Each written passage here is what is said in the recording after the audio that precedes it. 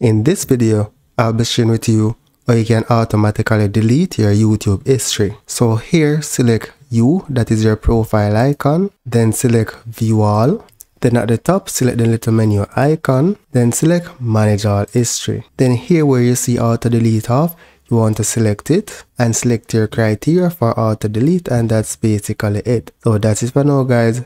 Thank you for watching and see you in the next video.